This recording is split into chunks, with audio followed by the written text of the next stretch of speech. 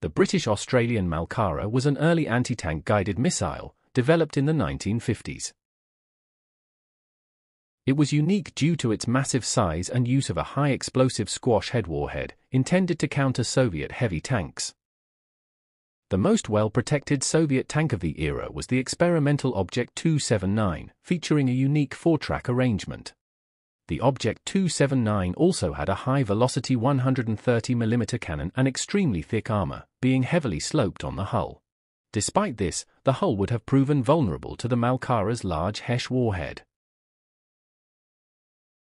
However, the size of the Malkara made it impractical, with it losing out to smaller and faster missiles with shaped charge warheads.